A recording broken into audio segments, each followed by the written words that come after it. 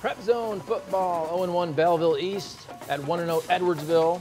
Strike up the band and the cymbal players as well. For the Tigers, the West Virginia commit Justin Johnson with the short rushing touchdown, and then Justin Johnson again, this time a little longer, probably from about 30 yards out. Justin Johnson takes it to the house for the score. Eville wins 49 21 the final. Drum roll, please, for some spring prep zone football. 0-1 McCluer North at 0-1 Ritenour for the Huskies. Quarterback Marcellus Griffin takes it about 50 yards. Will he go? Surely Willie. Oh! No, down to the one. But then Griffin finishes what he started with the touchdown run. There he did. Yeah, he did. McCluer North, Jason Easley, quarterback to Clifford Chandler for a touchdown, but it's Ritenour in a rout, 66 to 8 the final.